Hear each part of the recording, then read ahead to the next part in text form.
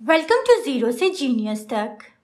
आज के इस वीडियो में हम आपके लिए लेके आए हैं हिस्ट्री के बारह ऐसे चुनिंदा सवालों को, जो कि अक्सर आपके एग्ज़ाम्स में पूछे जाते हैं।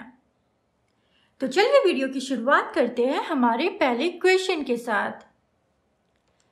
पहले क्वेश्चन में पूछा जा रहा है, विधवा पुनर्विवाह कानून कब बना? आपके ऑप्शंस हैं 1853 में 1856 में 1863 में, या फिर 1865 में। सही जवाब सिलेक्ट करने के लिए पाँच सेकंड का समय दिया जा रहा है, जो कि शुरू होता है अब। विधवा पुनर्विवाह कानून कब बना तो आपको बता दें। विधवा पुनर्विवाह कानून बना था 1856 में। ऑप्शन नंबर बी इसका सही जवाब है। क्वेश्चन नंबर दो है। अंग्रेज़ों ने फूट डालो और शासन करो की नीति कब अपनाई? ऑप्शंस है। 1877 के बाद। ध्यान रहे यहाँ पे होगा के बाद, में बाद नहीं होगा। ऑप्शन नंबर बी 1833 के बाद। ऑप्शन नंबर सी 18 58 के बाद, या फिर ऑप्शन नंबर डी 1799 के बाद। अंग्रेज़ों ने फूट डालो और शासन करो की नीति कब अपनाई? तो सही जवाब है ऑप्शन नंबर सी 1858 के बाद। और ये लॉर्ड कर्जन के शासनकाल में हुआ था। और लॉर्ड कर्जन ने ही इस नीति को पहली बार अपनाया। क्वेश्चन नंबर तीन है आर्य भारत में कहाँ से आए थे? आर्य भारत में कहाँ से आए थे?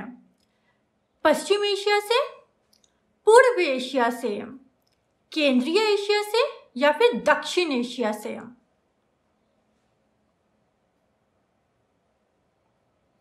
भारत में आर्य कहाँ से आए थे? तो वो आए थे केंद्रीय एशिया से। क्वेश्चन नंबर चार है किस अवधि में? रामायण एवं महाभारत की रचना हुई थी। किस अवधि में? रामायण एवं महाभारत की रचना हुई थी। काफ़ी इंपॉर्टेंट क्वेश्चन है ये, और उतना ही इजी ऑप्शन है, सिंधु घाटी अवधि में द्रवित अवधि में, वैदिक अवधि में, या फिर आर्य अवधि में।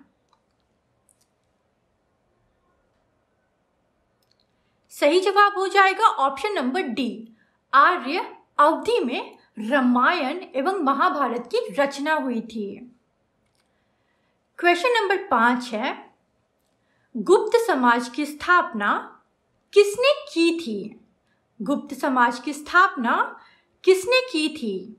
ये क्वेश्चंस काफ़ी बार पूछा जाता है।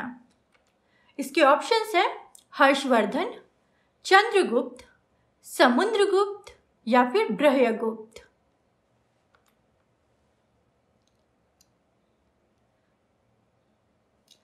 सही जवाब हो जाएगा ऑप्शन नंबर बी, चंद्रगुप्त। गुप्त समाज की स्थापना किसने की थी? तो गुप्त समाज की स्थापना की थी चंद्रगुप्त ने। क्वेश्चन नंबर छ है। वर्ष 1526 ईस्वी में लड़ी गई पानीपत की पहली लड़ाई में बाबर से कौन पराजित हुआ था? ऑप्शन है, मोहम्मद बिन तुगलक, अलाउद्दीन खिलजी, इब्राहिम लोदी या फिर शेरशाह सूरी।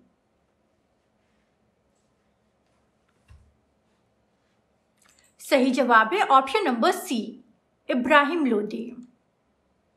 Question number सात है। किस युद्ध से भारत में मुगल राज्य की नींव पड़ी थी?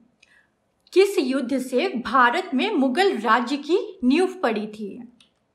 ऑप्शन नंबर ए, तालीकोटा का युद्ध। ऑप्शन नंबर बी, पानीपत का प्रथम युद्ध। ऑप्शन नंबर सी, हल्दी घाटी का युद्ध।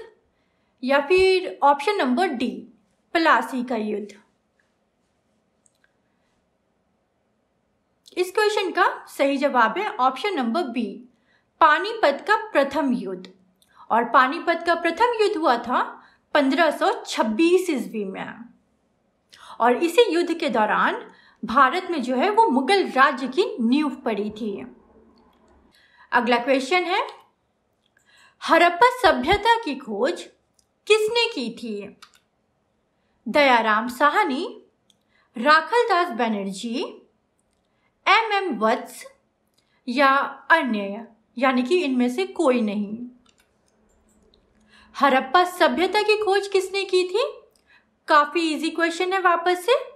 सही जवाब हो जाएगा option number A Dayaram Sahni. Dayaram Sahni ने हरप्पा सभ्यता की खोज की थी। दसवा क्वेश्चन वह शासक कौन था? जिसने एक सच्चे जैन मुनि की तरह उपवास करके अपना शरीर त्याग दिया। ऑप्शंस है, बिंदुसार, अशोक, चंद्रगुप्त मौर्य या फिर अन्य। इंपॉर्टेंट क्वेश्चन है, सही जवाब हो जाएगा option number C Chandragupta Maurya. अगला क्वेश्चन है। निम्न में से किसने सोम प्रकाश नामक समाचार पत्र शुरू किया? ऑप्शन है, दयानंद सरस्वती ईश्वर चंद्र विद्यासागर, राम मोहन राय, या फिर इनमें से कोई नहीं। निम्न में से किसने सोम प्रकाश नामक समाचार पत्र शुरू किया? तो सही जवाब है option number B, Ishwar Chandra Vidyasagar. अगला क्वेश्चन है, पानीपत की दूसरी लड़ाई किनके बीच हुई थी? पानीपत की दूसरी लड़ाई किनके बीच हुई थी? वैरम खान और हेमू, अकबर और मिर्ज़ा हकीम, अकबर और वैरम खान या फिर अकबर और राणा प्रताप? पानीपत की दूसरी लड़ाई किनके बीच हुई थी? तो सही जवाब हो जाएगा option number A, Bairam Khan और हेमू। आज के क्यू फॉर यू में आपके लिए क्वेश्चन है, मुगल काल में सौ प्रथम किस शहर में अंग्रेज़ों ने अपने कारखाने स्थापित किए? हैं मुगल काल में सौ प्रथम किस शहर में अंग्रेज़ों ने अपने कारखाने स्थापित किए? मद्रास, कलकत्ता, मुंबई या फिर सूरत। अगर आपको सही जवाब पता है तो कमेंट सेक्शन में अपना कमेंट करना ना भूलें तब तक के लिए अच्छे से पढ़िए, फिर मिलते हैं नए वीडियो में नए क्वेश्चंस के साथ। Thank you